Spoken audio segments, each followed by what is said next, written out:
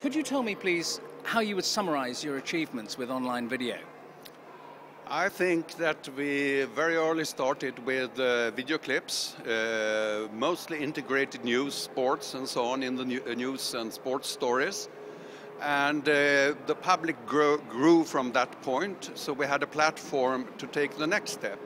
Because I think there is a big opportunity for online newspapers to really take a part of the TV commercial uh, business. And then, but then you have to also take the next step into more uh, long formats, 20, 30 minutes, and build a world of TV uh, programs online. I think uh, that's quite a big challenge. We have started trying to, we, I'm not working with Aftonbladet anymore, I'm working for Schibsted, but Aftonbladet are trying to have such a platform. And that will be the big challenge because the big TV channels have a big challenge to go online. They don't know if they will lose money, they are a little afraid, they don't know how to handle it. And then, if you are aggressive, you could find a position for a traditional newspaper. Okay, thank you. So, what is the clear strategy um, that you need for this success? The strategy is really to have cheap production. I mean, uh, quality, but cheap production.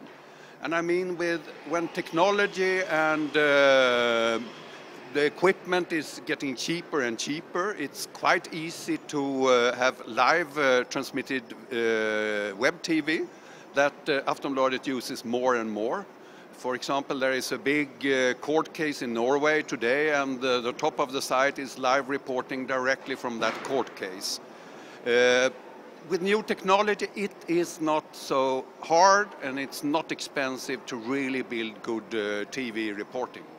And what has been the impact of uh, this strategy on your overall business model? I would say not so much. I think that integrated news videos and integrated web TV is more or less a must for a, very, for a modern news site.